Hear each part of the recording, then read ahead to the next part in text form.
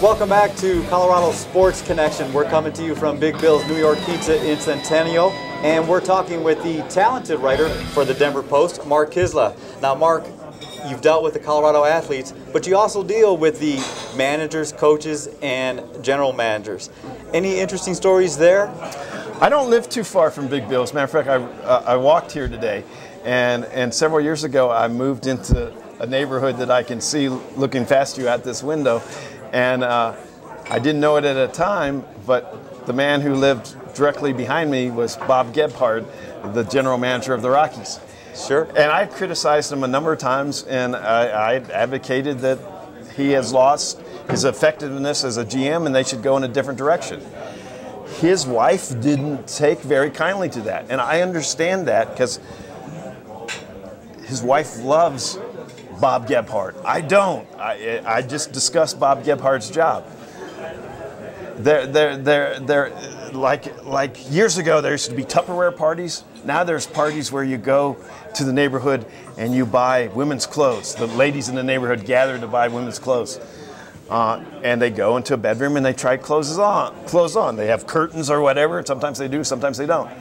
In a state of disrobe, my wife and Bob Gebhard's wife met each other.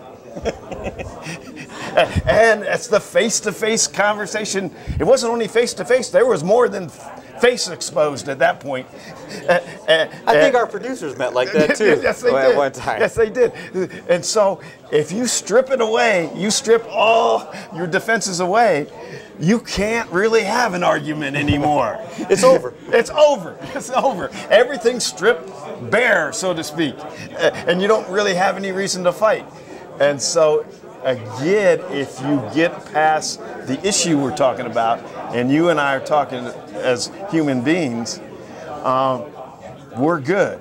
Clint Hurdle knew as Rocky's manager, I would second guess him, I would criticize him. But when he had a daughter born with a serious disease, yes. he also knew that I cared deeply about him. There's a difference between what I think about him as a baseball manager and what I think about him as a father. And if we can make that connection, then we really don't have anything to argue about. And you bring up a good point here because on your articles, I have to ask you this. Are, are you just writing that because you're trying to sell the newspapers, or do you honestly feel that way as a sports writer? Well, number one, the number one job of a newspaper, and there's a lot of things a newspaper does, but the number one job of a newspaper is the same thing as the number one job as of a car dealership or the number one job of a restaurant. Sell. Either you're selling newspapers, you're selling Buicks, or you're selling pizzas. And if you don't sell, you're not going to be in business very long. Having said that, I'm disagreeable enough, contrarian enough, argumentative enough, passionate enough that I don't have to make it up. I always believe what I write. Sometimes I'm 100% wrong, and I'm sure you've picked up the paper or gotten online at uh, denverpost.com some mornings and go, how could he possibly think that? That's what I really think, but I'm not always right, and you know that. And everybody listening knows that. I always agree with you. I, I always agree with you. Yeah, right. I'd be really worried about you if you did. Uh, one of the questions I do have to ask you about, we were talking about the Rockies, uh, the Monfort brothers. Yes, sir. You've had some articles written about them on taking that next step forward to really improving this team.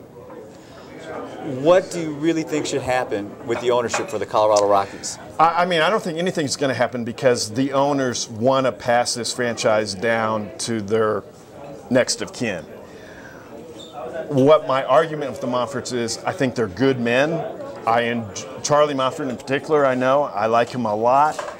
I don't think they have enough chips to truly play the game of poker with the Yankees or the Phillies or the Red Sox or, or teams that, are, that have a lot of money in a sport that doesn't have a salary cap. Bud Selig, the commissioner of baseball, all the time says, uh, "Look at the Tampa Bay Rays, or look at look at the Rockies. Look at all the the lower tier, the mid-market teams that don't have such big uh, payrolls. Look how many of those teams get to the World Series. True, but how often do any of those teams actually win the World Series? In recent years, it's usually the Phillies or the Yankees or the Red Sox or teams that spent by the World Series. We're going to take a quick break, and I have some more questions for you leading to the Denver Broncos and some of the head coaches that you've dealt with in the past. We'll continue our talk with Mark Kiszla right here on Colorado Sports Connection.